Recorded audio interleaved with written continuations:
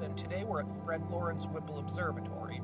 Behind me is the Veritas Gamma Ray Telescope, but today we're going to be taking a tour of the MMT. I have with me Dr. Grant Williams, Director of the Observatory. We're currently at the base camp of Whipple Observatory and we're about to head up the mountain to see the MMT.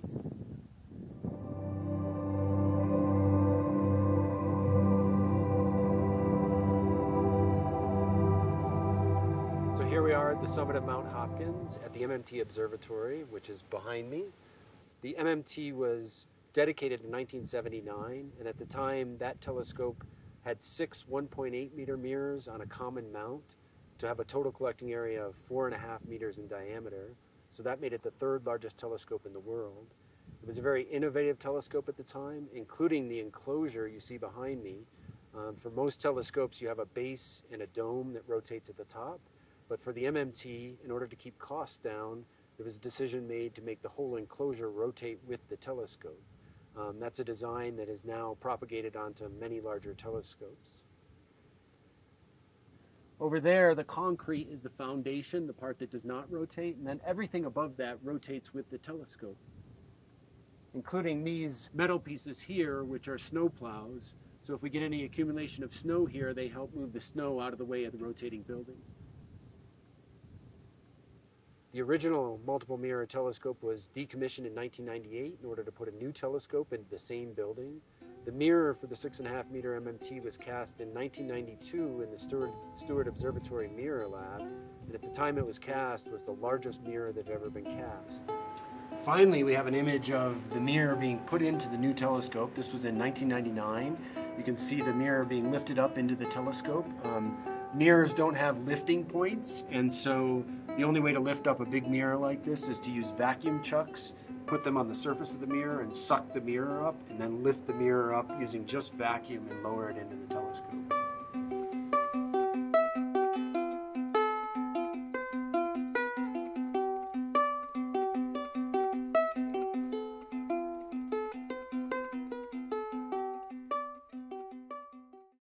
Okay, now we're inside the telescope enclosure um, on the main observing floor.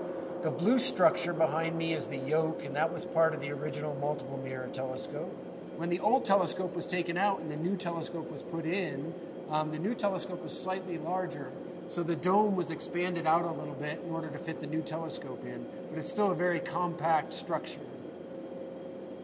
The old telescope was taken out in 1998 to make room for the new six and a half meter telescope. This was commissioned in 2000. We have a six and a half meter primary mirror that works with three different secondary mirrors. We have an F9 secondary mirror, which matches the focal ratio of the original telescope so that we could use instruments from the original telescope with the new telescope.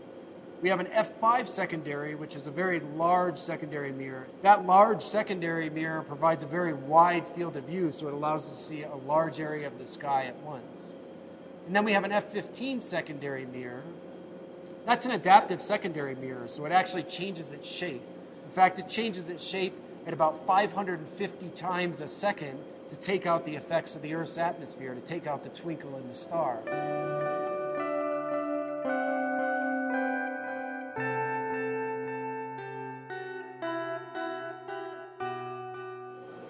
We can mount about 12 different instruments on the MMT.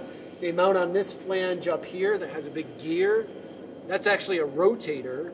Um, for, for telescopes like the MMT, which are alt-az telescopes, they move in elevation and azimuth. And so the field that you're viewing rotates around. In order to take that rotation out, the rotator rotates the instrument out to keep the field fixed relative to the instrument.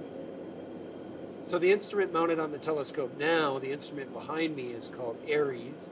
It's a near-infrared imager and spectrograph. The instrument has two different sides, which are different colors, green and purple. There's an imaging side, and then there's a spectrograph side. A spectrograph disperses the light into its different colors so that you can study the astronomical objects.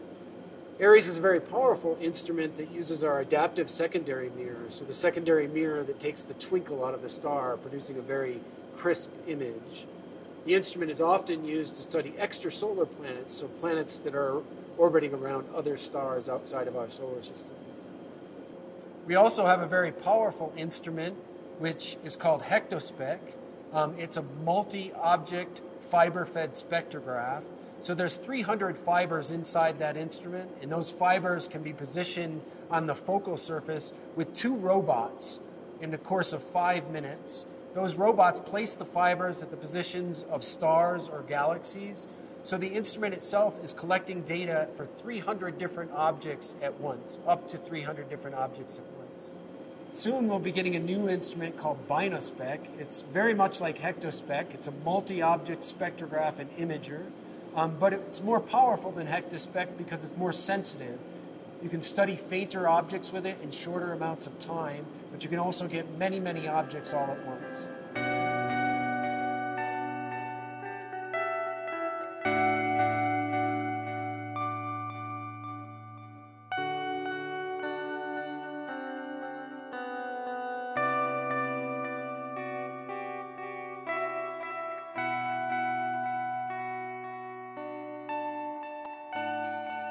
So now we're in the control room. This is where all the action happens at night. We have many computers along this console here, which are used to operate the telescope and the instrumentation. Um, at the far end of this room, the telescope operator works. Um, in between the telescope operator and the observer, we usually have an instrument operator. And then at this end of the room, we have the observer.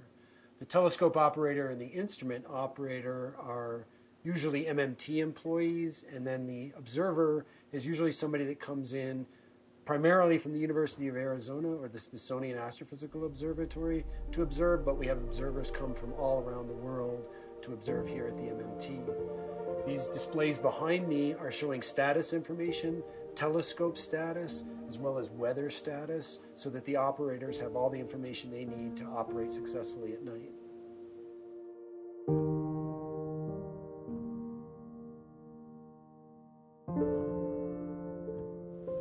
Right from the beginning, the MMT Observatory has been a joint operation between the University of Arizona and the Smithsonian Astrophysical Observatory. So most of the people who observe at the telescope are from one of those institutions, the University of Arizona and the Smithsonian Astrophysical Observatory, although collaborators come from all over the world to use the telescope. Um, both of those institutions contribute equally to the budget to help operations of the telescope, and so they both get 50% of the time on the telescope.